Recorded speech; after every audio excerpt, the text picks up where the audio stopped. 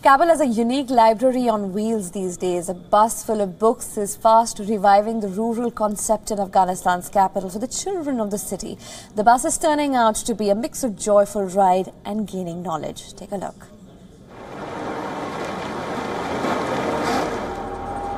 The door of this blue bus slides open immense opportunities for the young generation in Kabul.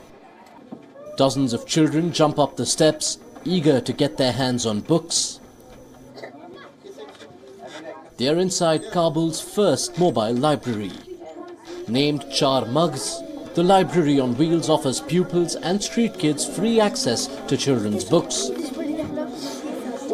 These books otherwise are in short supply at public schools and libraries. We thought that maybe we should find an efficient way uh, where we can, uh, with whatever resources we have, with limited resources, we can reach out to a lot of children. And that's how the idea came that, okay, a bus library can be an efficient way. Though we understand that a mobile library is a rural concept, but we think that in the case of Afghanistan, it can very well fit in in, a, in an urban concept, uh, area like Kabul.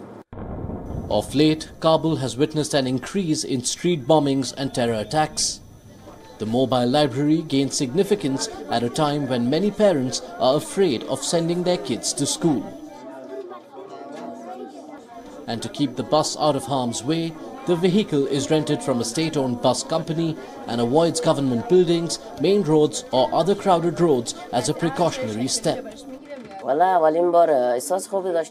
I heard about it, I felt good and I thought I could use it to learn more.